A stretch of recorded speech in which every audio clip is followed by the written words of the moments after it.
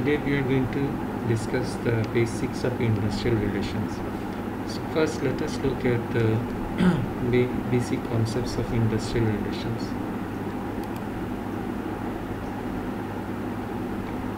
So how do we define industrial relations? It is the relationship between management and workers in an unit or an establishment or an industry. So when we are talking about industry, we are talking about an overall industry or sector in the country, like the ready-made garments industry in Bangladesh. There could be there are establishments inside that industry. There, that is, there are different organizations. So the relationship that exists between the management and the workers in one organization or in one unit of an organization that is considered as the industrial relations. So when we are talking about management, we are referring to the owners of the business and uh, the people who are who are managing the business, and the workers are those who are uh, employed in the organizations.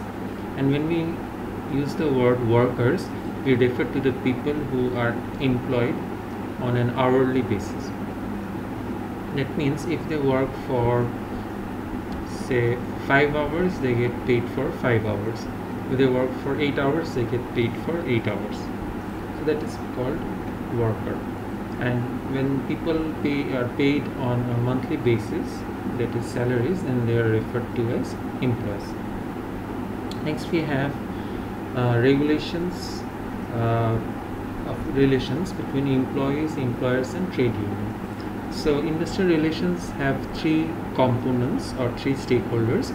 These are the employees, the employer and the trade union. So the relationship that exists among these three stakeholders that is known as industrial relations.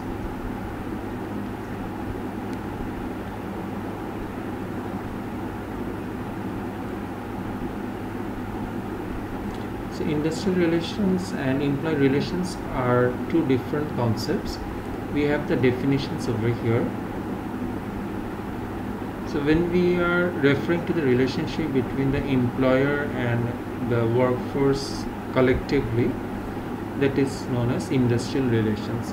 So the collective workforce is mainly represented through a trade union when we are referring to the relationship between an employee and the employees that is individual employees then that is known as the employee relations.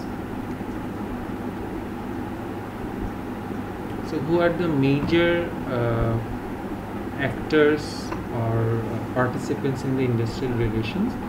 They are the employee the employer and the government. So we have already discussed about the employee and the employer. So what does the government do the government uh, mainly regulates this relationship between the employee and the employer. So as a result the government is an actor in the industrial relations